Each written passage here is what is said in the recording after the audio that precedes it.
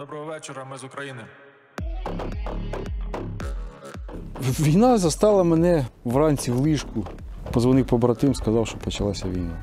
Я працював до четвертої ранку, і десь у пів шостої я побачив меседж від команди, що у Дніпрі почалися обстріли. Мы не могли поступить иначе, кроме как взять в руки оружие и стать на защиту нашей э, Родины. Вони прийшли до мене в хату, блін, серуть, убивають дітей,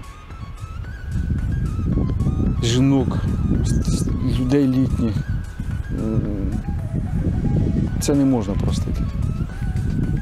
Я зрозумів, що я не можу сидіти. Я не трус, тому я пішов, записався добровольцем. Мы потомки наших великих предков, запорожских казаков.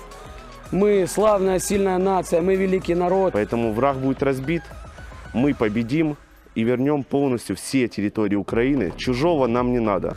Нам нужно только свое. Після того, як окупант почав обстрілювати наше мирне населення, мир нам вже не потрібний. Нам потрібна тільки перемога. До внука поїду.